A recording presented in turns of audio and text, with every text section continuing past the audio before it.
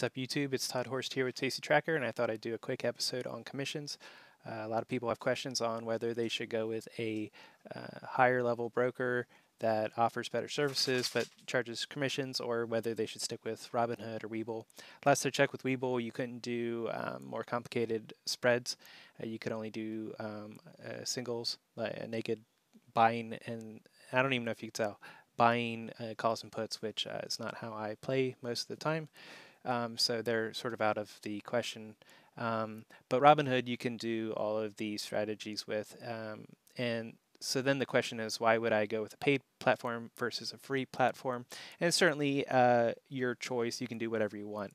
Um, but uh, you know, years ago, uh, Tastyworks was the cheapest. TD and all of them had a higher fee structure. Um, because of Robinhood, uh, the uh, fees have gone down and down and down, and now pretty much everybody's uh, uh, equal. The only difference I would say is Tastyworks does still have a bit of an edge if you play more than 10 contracts. Um, then they cap your commissions at that instead of continuing to increase. So that is still one reason to go with Tastyworks, but uh, it's diminished a bit compared to what it used to be. Hopefully, they adjust their fees in the future to sort of be the middle ground uh, between Robinhood and, and TD and stuff. But um, I would still recommend them. It's still the primary platform I use. Um, but you can see, uh, you know, if you go over to my website, um, this is my uh, small account challenge I've been doing. I spent $300 this year in commissions alone.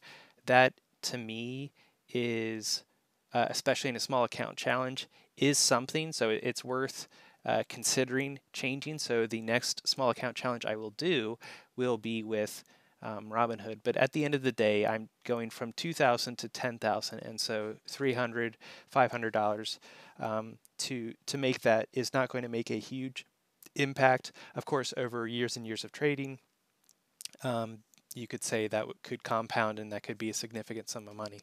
Um, but the other thing I would say is it's just uh, the little niceties that um, Tasty Trade has, or again, uh, TD, any of them. But um, you know, I can go in here, I can click on strategies uh, if I'm feeling lazy. It's already on vertical by default. I can do short put, which is a lot of what I do.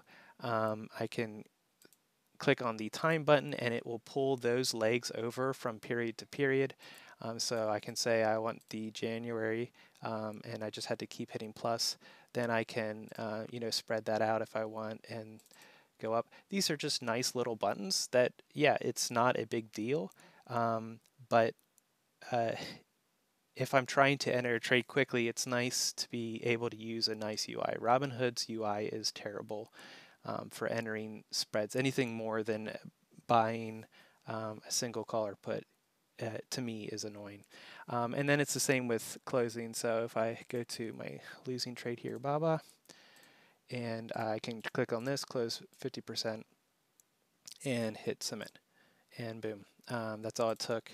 And uh, if I want to edit that, I can hit edit and go down. Now with Robinhood, at least uh, last time I played with it, you had to cancel the order sometimes um, and then uh, enter in a new closing order. There were other places where you could just edit it, but um, that had been newer too.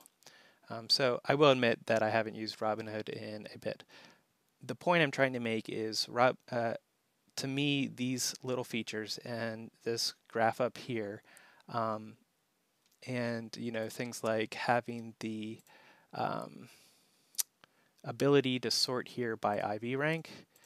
Uh, if you have a personal, you can create your own, um, you know, watch list. Obviously, I have a couple, um, and then then you can sort by IV rank to see which ones are most volatile.